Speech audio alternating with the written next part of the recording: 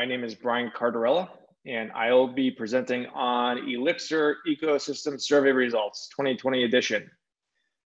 So uh, hopefully um, uh, most people saw that uh, I was uh, collecting survey data um, a few months back and we kept this survey open for uh, up until mid-August, early August.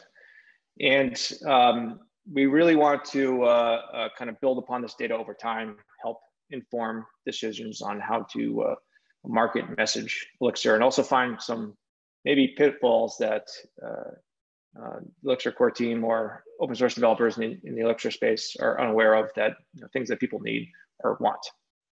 So, yay, ElixirConf 2020. I'm actually really enjoying the conference. Um, for those of you that did not go to the after party last night, it was a lot of fun. Uh, hopefully we'll see more people there today. And um, I am formerly of Dockyard, um, but I'm still the founder and chairman. Um, but my day to day ended at the end of last year. Um, but I still want to uh, kind of, you know, promote the company and help them out. So um, Dockyard does custom software solutions, and um, if you're looking to uh, hire a consultancy to uh, either augment your existing Elixir team, um, train up uh, a new team, or consult on how best to architect a uh, Elixir-based solution, you should absolutely hire Dockyard. So um, the goals of the survey, we uh, really want to use this year to establish a baseline and uh, for those that have been around Elixir for a few years, you may remember Josh Adams's surveys. Uh, uh, and it, he was really helpful with trying to get some of that data um, to help inform this survey. Unfortunately, some of it was lost. Um, his uh, uh, prior um, company, Daily Drip, uh, we weren't able to retrieve the credentials necessary off a Typeform to pull that data out. Um, and so the, I think the, the most recent year was 2016, which to me felt too far apart from 2020 to really uh, do any type of comparative analysis on the data. Um, but for what it's worth, Josh was uh, uh, really responsive and helpful to, to try to do something about that. Unfortunately, it's just the way things go sometimes. Um, there's going to be a lot of uh, things that um, we can improve upon coming out of the survey for sure. Um, either uh, paring down some of the questions, make it faster to get through the survey and such. Um, and we want to be able to do that um, uh, definitely next year. And I'd really like to have uh, hopefully some people in the community that are really passionate about community building maybe get involved with the survey. Um, so it's just not me. Um, and uh, from the survey uh, data itself, we now can have these uh, uh, these goals that we can set, metric goals that we can measure progress through year after year and say, you know, are we meeting this? Are we falling back on this? So let's get right into the results.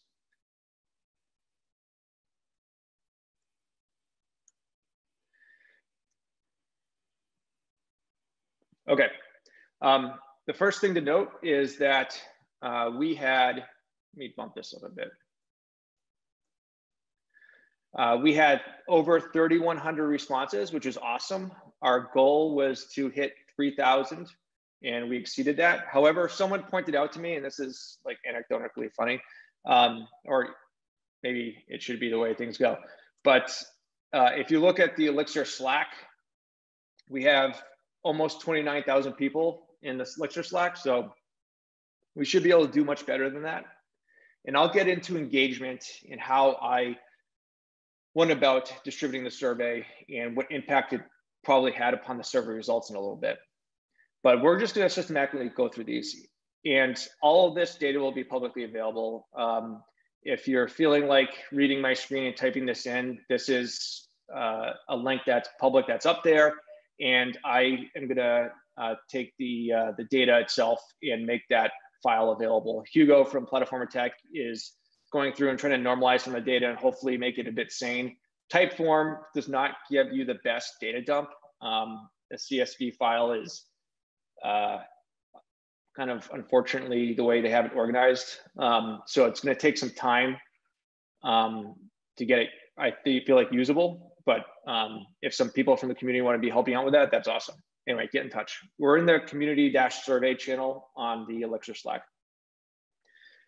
So 86% uh, of respondents said that they um, are currently using Elixir in professional or personal projects. And thankfully, we had a very small percentage of the uh, respondents that say that they won't be using it again, 20 respondents. Um, there was some logical branching in the survey. Unfortunately, the, the um, survey data visualization um, results on Typeform don't allow me to selectively show. So I'll kind of um, talk like when I know a branch occurred. So this is the first one. If you said that you aren't using Elixir right now, um, either you stopped using it uh, for whatever reason, or you don't plan on coming back, you are sent down this branch. So the reason why uh, uh, respondents said that they weren't using Elixir, and these numbers are small on the right-hand side because not many people thankfully went down this branch. Um, number one answer was, well, other than other, but um, uh, the company migrated to another language or framework. Very close second, ecosystem lacked necessary solutions for use cases. The way that the survey was set up, other was a free form field, and we can see that there's only um, 83 responses on that. And we can go through it very quickly, but um, without some real normalization on it, I can tell you that it usually comes down to uh, actually something very similar to some of these answers up here.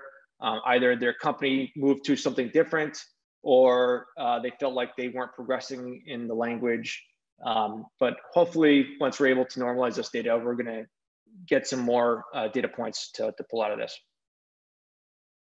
Um, this was a one of the few absolute free-form answer uh, questions to answer in the uh, in the, the survey, and um, a lot of these are uh, editor related. So there's IDE editor, there's CMS.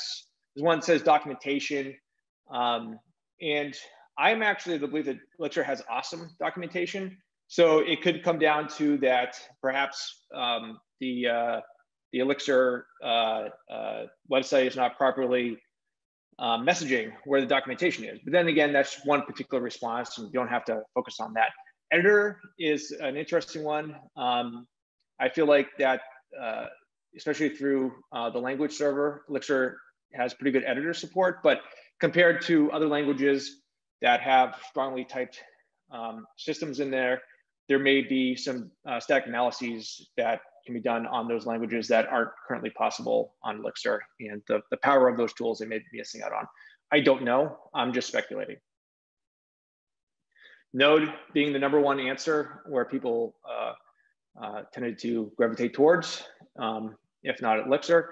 And then, but honestly, all these are pretty close, Go, Java, Ruby. I'm surprised that Rust was this far down. I would have expected to see it a little bit higher.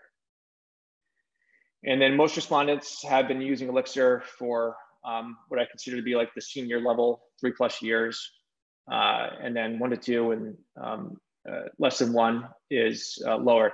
Uh, I will say that I was surprised about this. I was hoping to see that less than one to be a much larger number to me, that would indicate that there is growth in that space and you know, the people that have been coming along, um, especially because three plus years in Elixir isn't, we're not talking about like that encompasses like two decades of time. That really encompasses, say, like the past five or six years. Um, one to two, and then a less than one. Um, so hoping it would make up more than 50%. Uh, the, these type of answers, though, the, the data could come down to that maybe I wasn't engaging properly with with uh, people that are new to the language on requesting their responses in the survey. And it's also good to see that vast majority of people are on the, uh, the newer versions of Elixir. Um, so word of mouth tends to be the strongest uh, uh, kind of, I guess, way people are learning about Elixir. Uh, blog posts, thought leaders uh, come into play too. And then reading a book is the most impactful learning tool. And so Elixir has a, a good number of books in them uh, in the, in the uh, community, but this may actually hopefully lead others to consider writing a book. and putting those out there, even if some of the material has been retread over, just uh, coming up with their own spin on it. Because this is showing that there is a significant market out there for people that um, want to be learning from books as opposed to other sources of media. So hopefully that, that uh, pushes some people to do so. Vast majority of people um, have not written any Erlang, but thankfully some people started to learn Erlang uh, after the after uh, learning Elixir, myself included. And this is one question I'll probably drop next year. I thought it might be interesting, but it, it was just so skewed. Is if you're using another Beam-based uh, language, and 92% no, they have not. Age range is probably where I was expecting it to be. Um, and then gender identity and country. Uh, unsurprisingly, Elixir is very heavily skewed towards uh, men. Uh, people identify as male, and um, uh, unsurprisingly, you know, a lot of people um, responded to the survey from the United States. So what I'll say here is that while I'm not surprised that um, uh, the, the gender identity numbers are um, overwhelmingly male. Um, I am a bit shocked to see that it's this small uh, on the female side. And this could be, I don't want to explain it away and say like, oh, that's not the case. Elixir is not heavily you know, male skewed. Um, I will say that it could be influenced by my um, lack of being able to engage with the proper uh, groups of people in order to get more representative uh, responses on the survey. And um, uh, this could be hopefully one of these, this is definitely an area that I want the survey itself to improve upon year after year, engaging with these types of uh, uh, groups, but also hopefully the community itself can start to use these as metrics to say, you know, we, hey, where things are at are not great. Let, us try to improve upon this.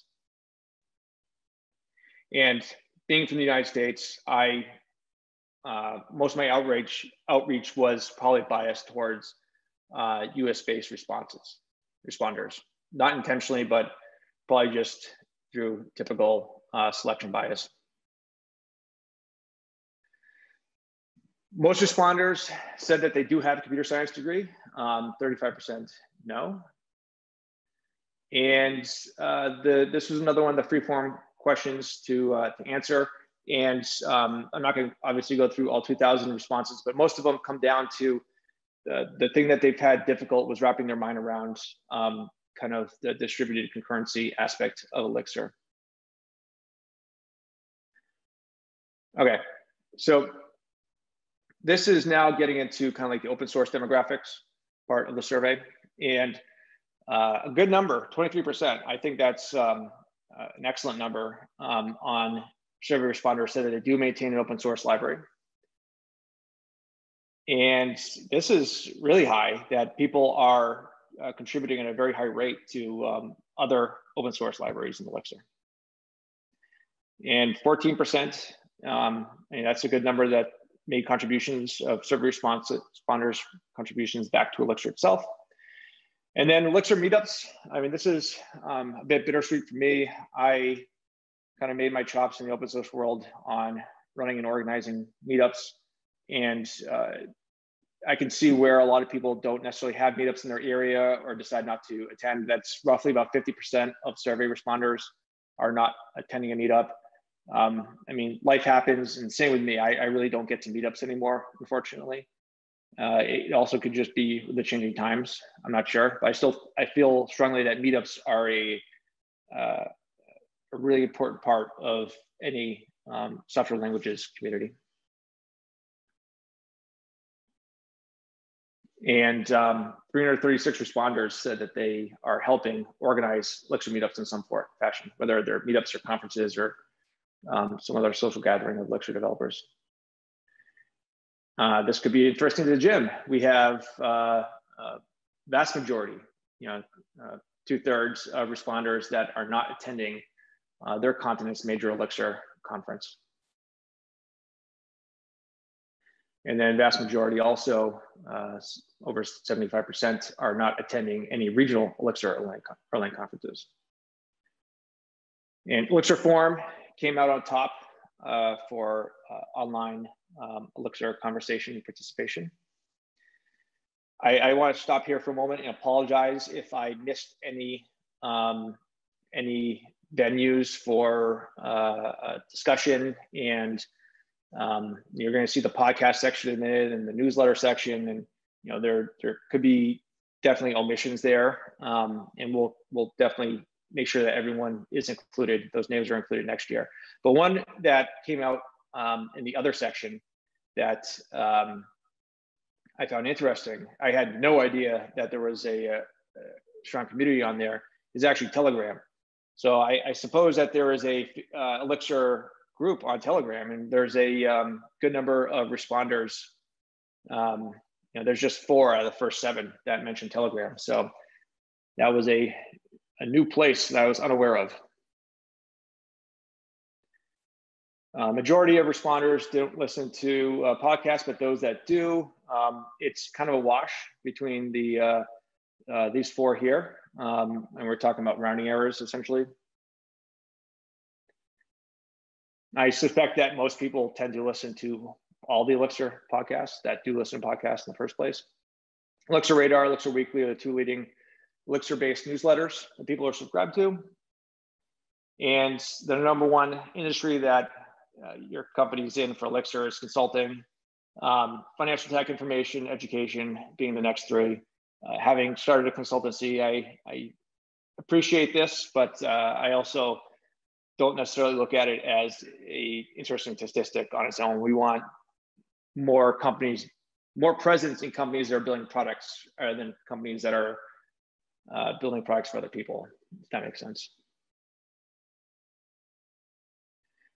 Vast majority uh, self-identified as senior engineers, a lot of people in the C-suite executive role. And then the company itself, yes, majority of people uh, who uh, work professionally in Elixir, their company is using Elixir. And a good number have been using it for over three years. Phoenix being the most popular reason for uh, companies to be using Elixir. And there's um, team sizes that I feel like are you know, pretty strong uh, uh, groups at um, uh, two to four or five to 10. Um, and then there's 258 responders that have 21 plus. Um, that was very interesting statistic there. I may put 50 plus next year to see if anyone responds to it. Uh, most companies that are using Elixir are using them for new projects. This actually was the opposite of what I thought it was going to be. I, I suspected most companies were bringing Elixir to migrate um, legacy products over to something new. So it's um, it's really nice to see Elixir being used for uh, for whole new product lines. Ruby and Rails, unsurprisingly, uh, being the most popular language framework to migrate away from. And these were the outcomes that uh, people typically saw. Faster application response time, less system resources, faster development time, less bugs. These are all very popular good things to uh, for people to respond on. And then peace of mind. So typically language politics, language religion, however you want to call it, is uh, the most uh, common reason why Elixir was not being adopted at uh, a particular company. Um, and this this is a common trend that we see. I mean, you you may have teams split on uh, which language or frameworks to use, and it, it really just comes down to comfort level, preference, um, but also it can come down to you know business sense. And the thing that's well known is lack of available talent in the market. Uh, I think that we would have more companies using Elixir if it was uh, more economical for them to hire Elixir developers. Not to say that people should accept less money. I mean, the sense for a lot of companies are taking talented engineers and then training them up in Elixir, and that's expensive. Um, so for anyone that is, uh, you know, affiliated with code schools, I know we have Elixir schools um, there is probably a, a big uh, gap in that market right now for training that's not being addressed, at least at the level at which companies are, uh, are, are, requesting or needing. Um, I'll leave this open and just uh, people can go through this answer on their own because there's you know quite a bit. Um, Mac being the most popular uh, uh, platform to develop upon, Linux or other POSIX based. Number two, Windows, not super popular. And um, there's uh, 10 answers here, so I'll go through them. All Solaris, Mac and Linux. I'm not sure if that person is actually has two laptops or um, maybe VMs and then, or if they mistook uh, development environment and production environment. But FreeBSD, I would have put that up in POSIX. Same here. But FreeBSD being somewhat popular.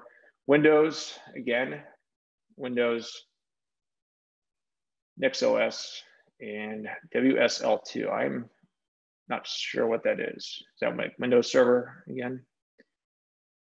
VS Code, the most popular editor in the Elixir ecosystem. Probably due in no large part to, or small part to uh, the awesome language server that's available.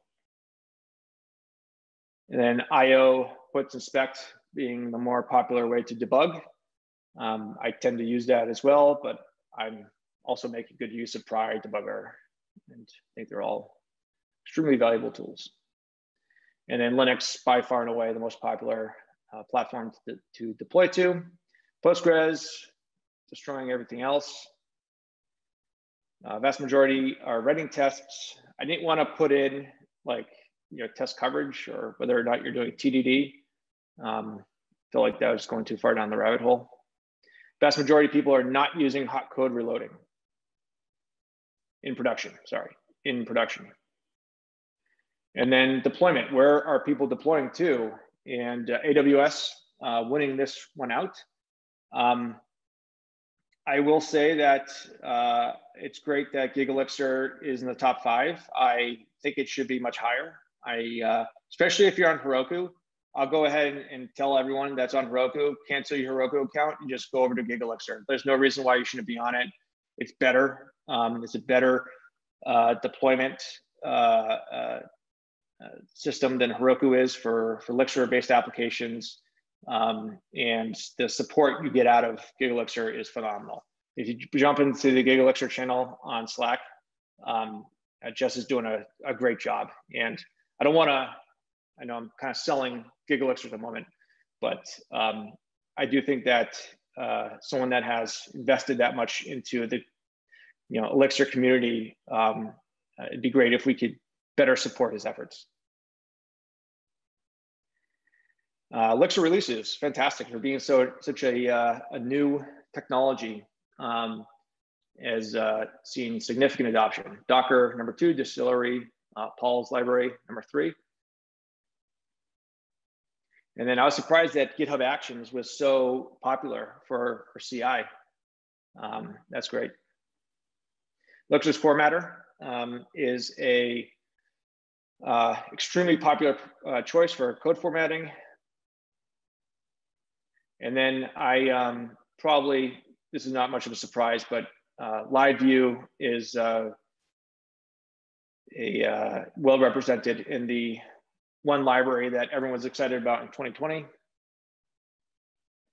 Um, yes, most people are using Phoenix. This brought you down the Phoenix branch. Unfortunately, I'm not sure. I, I still haven't gone through the survey. I don't know why this one has zero, zero answers to it. Clearly, I forgot to turn something on in the same thing in the nerve section, but we don't have any answers on the, uh, uh, the Phoenix versions.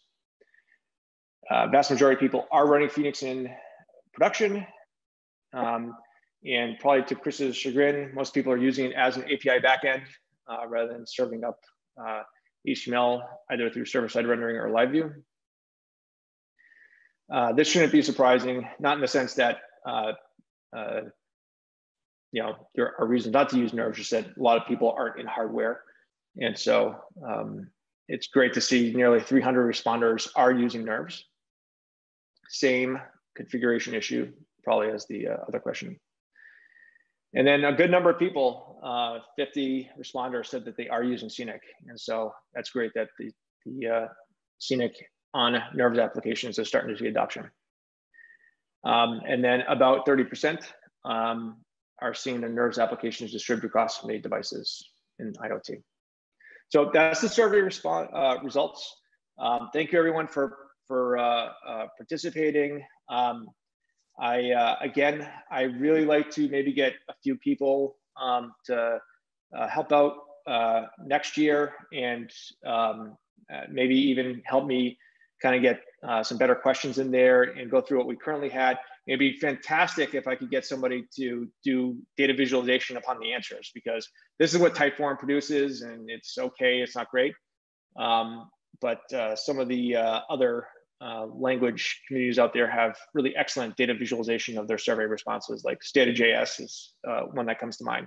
Um, the, uh, uh, there are some people I would like to thank though that um, did help out. Um, Hugo and Carlo, um, so Hugo, formerly a Plataformatec running Elixir Radar, um, uh, he had um, on his own started to do a, I think some some thoughts around a survey, um, and then when Plataformatec um, uh, was absorbed, um, he kind of changed focus over to Radar, but he handed off those questions to me. I was able to bring in some of them, and we went back and forth a few times on improving the survey. Carlo from Dockyard, uh, very very helpful in the same regard. Um, he uh, uh, he helped uh, uh, curate and build out some of the, the, survey questions and really was someone to bounce some ideas off of from time to time. And then finally, about a month or so before I released the survey, I put it out on Twitter. I like to have some people kind of test drive it. And here's the list of people that uh, were thankfully able to, to do so. Um, and thank you to everyone on this list. Uh, you definitely found some, uh, a lot of spelling errors apparently that I had in the survey. And then also thank you to Jose. Um, just a special note there that it's great to be in a, um, uh, a language ecosystem where um, you know, Jose, he, he wants to be hands off on something. He doesn't feel the need to kind of you know, own everything. And, that's really refreshing and it's freeing and it gives everyone a sense of agency over certain things. And so it's great to be able to participate, add to, um, uh, add to Elixir in everyone's own special way. So thank you, Jose. And that's that is the uh, Elixir survey talk. I will, I guess if there is a, two questions. Okay, number one, how does the distribution for each question in the survey compare to the development community as a whole? Okay, all right, so I'll talk about how I distributed it. Um, let me just quickly check my time. Uh, it's fine. Don't worry. You can go okay, ahead okay. and, yeah, and answer them. Yeah, don't worry. Yep. Okay. All right. So um, I distributed the survey in several different ways. Number one, I promoted it on Twitter. Um, and that limits me to like my third to fourth, whatever degree retweets that I'm going to get. Um, I asked Jose to, and he did off of the Elixir uh, uh, Twitter account. Um, I promoted it on Elixir Forum. I contacted the Elixir Forum organizers, and I believe that they were able to pin it on Elixir Forum. Um, I put it in Slack, but Slack's difficult because you know things disappear pretty quickly.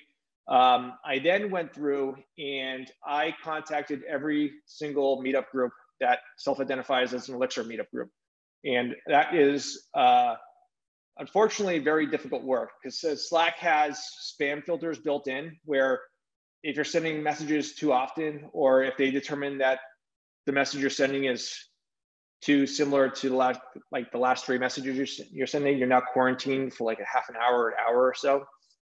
So it, it took about a week to go through and message all of the meetup organizers. And um, thankfully, a lot of them got back to me and uh, expressed uh, their interest in sharing the survey with their, uh, with their members.